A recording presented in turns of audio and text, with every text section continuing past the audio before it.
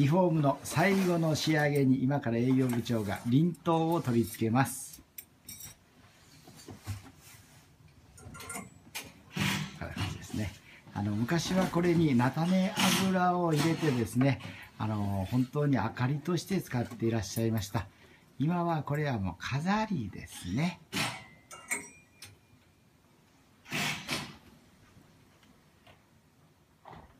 これは全てあの24金メッキあのを施してございます。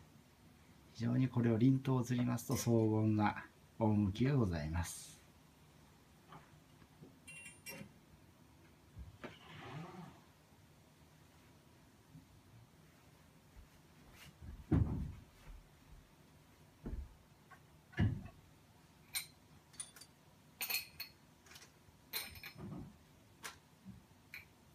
あのお仏壇がいいですのであのお道具もいいお道具を揃えてつけてきております。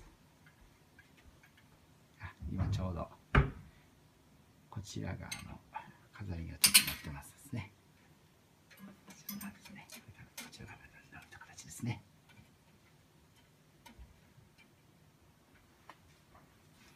あの当店の仏壇は内部に LED 照明をつけております。え金仏壇で熊本でつけてるのは当店だけでございます。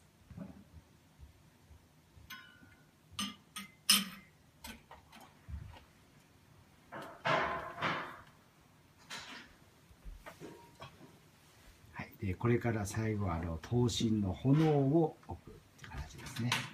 これで完成でございます。